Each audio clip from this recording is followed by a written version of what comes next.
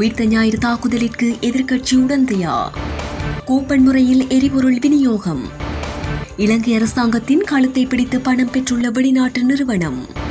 மீண்டும் அதிகரிக்கவுள்ள விலை வெளியான அறிவிப்பு. கடல்சார் சமூகங்களுக்கு விடுக்கப்பட்டுள்ள எச்சரிக்கை. இலங்கையில் அதிகரித்த தொற்றாளர்கள் மேலும் ஆயிரத்து எழுநூற்றி எண்பத்தி மூன்று பேருக்கு கோவிட் தொற்று. எரிவாயு நிறுவனங்களிடம் அரசாங்கம் விடுக்கும் நஷ்ட ஈட்டு அறிவுறுத்தல்.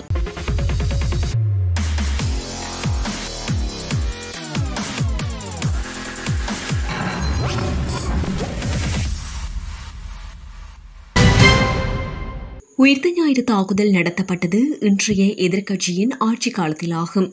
இந்த தாக்குதலில் அவர்களும் உடந்தையா என்ற கேள்வி எழுந்துள்ளதாக ராஜாங்க அமைச்சர் எஸ். வியாளேந்திரன் தெரிவித்துள்ளார். எஸ். வியாளேந்திரன் உட்பட ஐந்து பேருக்கு எதிராக வழக்கு தொடரப்பட்டிருக்கும் வழக்கு இன்று மட்டக்களப்பு நீதவான் நீதிமன்றில் நீதிபதி ரிஷ்வான் முன்னிலையில் நடைபெற்றது. வழக்கினை தொடர்ந்து அவர் ஊடகங்களுக்கு கருத்து தெரிவித்துள்ளார். புதிய அரசாங்கம் வந்ததன் பின்னரே உயிர்த்த ஞாயிறு தாக்குதல் தொடர்பான விசாரணைகள் வேகப்படுத்தப்பட்டுள்ளதாகவும் அவர் மேலும் தெரிவித்துள்ளார்.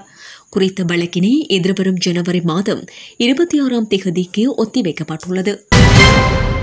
கூப்பன் முறைக்கு எரிபொருள் வழங்க முடியுமா என்பது தொடர்பில் நேற்று இடம்பெற்ற அமைச்சரவைக் கூட்டத்தில் கருத்துக்கள் வெளியிடப்பட்டுள்ளதாக தெரிவிக்கப்படுகின்றது. தற்போதைய டொலர் நெருக்கடியை எதிர்கொண்டு எரிபொருள் இறக்குமதியின் விலை உயர்வை கருத்தில் எடுத்து இவ்வாறானதொரு நடவடிக்கை மேற்கொள்வது பொருத்தமானது என அரசாங்கத்தின் சிரேஷ்ட அமைச்சர் ஒருவர் கருத்து தெரிவித்துள்ளார். தற்போது இலங்கையில் எரிபொருள் பாவனை அதிகரித்துள்ளமையும் இந்த பிரேரணிக்கு பங்களித்துள்ளதாக தெரிவிக்கப்பட்டுள்ளது. எனினும் அமைச்சரவை அந்த யோசனைக்கு உடன்படவில்லை. கொள்வனவு செய்யாத பொருளுக்காக அரசாங்கம் பணம் செலுத்தியுள்ளமை ஏற்றுக்கொள்ள முடியாது என்று ஐக்கிய மக்கள் சக்தி தெரிவித்துள்ளது. கட்சியின் நாடாளுமன்ற உறுப்பினர் எஸ். ஏ. மெரிகார் இந்த கருத்தை இன்று இடம்பெற்ற செய்தியாளர் சந்திப்பின் போது வெளியிட்டுள்ளார். இன்று காலையிலேயே ஊடகங்களில் பார்க்கக்கூடியதாக இருந்தது. சீனாவின் அந்த கழிவு உர கப்பலுக்கு ஆறு தசம் ஏழு அமெரிக்க டாலர்களை செலுத்த உள்ளார்களாம் எங்கே இந்த மஹிந்தானந்த என்று எனக்கு கேட்க தோணுகின்றது. மஹிந்தானந்தவே தான் அமைச்சரவை பத்திரம் ஒன்றை சமர்ப்பித்திருப்பார். சீனா இந்த அரசாங்கத்தின் கழுத்தை பிடித்து சுவரில் அடித்து தான் இந்த பணத்தை பெற்றுள்ளது. நாம் வாங்காத ஒரு பொருளுக்கு நாம் ஏன் பணம் செலுத்த வேண்டும் என்பதே முதல் கேள்வி. இதற்கு பொறுப்பு கூற வேண்டிய மஹிந்தானந்தவும் சசேந்திரவும் என்ன செய்கின்றார்கள்? வாங்காத பொருளுக்கு பணம் செலுத்த வேண்டுமென்றால் கொள்வனவு செய்த விடயத்தில் தவறு உள்ளது.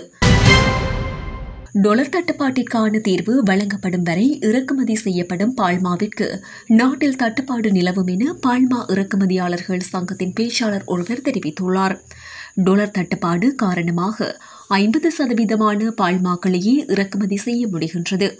அதே நேரம் இறக்குமதி செய்யப்படும் பால்மாக்களின் விலைகளில் மீண்டும் திருத்தம் ஏற்படுத்தப்பட வேண்டும் எனவும் அவர் குறிப்பிட்டுள்ளார். இதேவேளை பால்மா இறக்குமதிக்கு பாதிப்பினை ஏற்படுத்தியுள்ள டொலர் தட்டுப்பாட்டிற்கு நிவாரணம் கோரி பால்மா இறக்குமதியாளர்கள் சங்கம் நுகர்வோர் பாதுகாப்பு ராஜாங்க அமைச்சருக்கு கடிதம் ஒன்றினை அனுப்பி வைத்துள்ளது.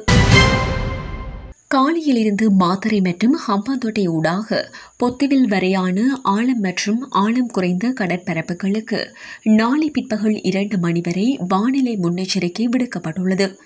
இதன்போது பலத்த காற்று மற்றும் கடல் கொந்தளிப்பாக இருக்கும் என்று இயற்கை இடர்பாடுகள் முன்னெச்சரிக்கை நிலையம் எச்சரிக்கை விடுத்துள்ளது.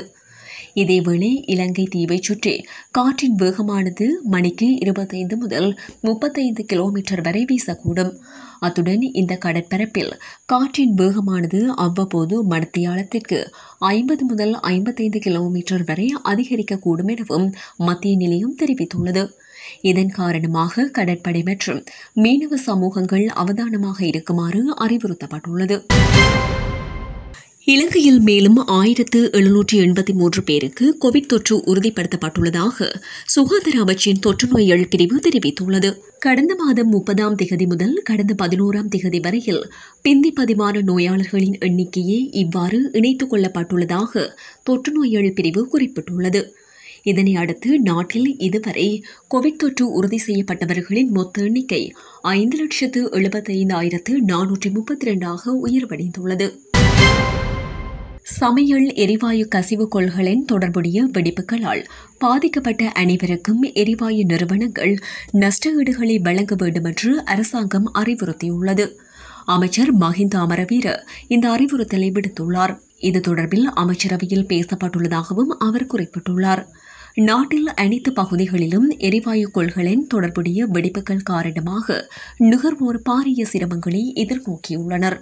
இந்த வெடிப்புகள் காரணமாக மரண சம்பவங்களும் பதிவாகியுள்ளன. எனவே இந்த சம்பவங்களை தடுக்க குறித்த நிறுவனங்கள் நடவடிக்கைகளை எடுக்க வேண்டும் என்றும் அமைச்சர் குறிப்பிட்டுள்ளார்.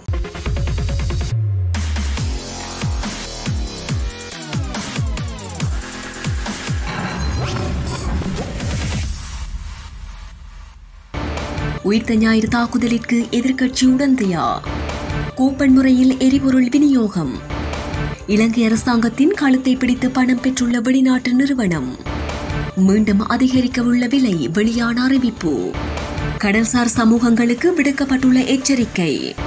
இலங்கையில் அதிகரித்த தொற்றாளர்கள் மேலும் ஆயிரத்து எழுநூற்றி எண்பத்தி மூன்று பேருக்கு கோவிட் தொற்று. எரிவாயு நிறுவனங்களிடம் அரசாங்கம் விடுக்கும் நஷ்ட ஈட்டு அறிவுறுத்தல்.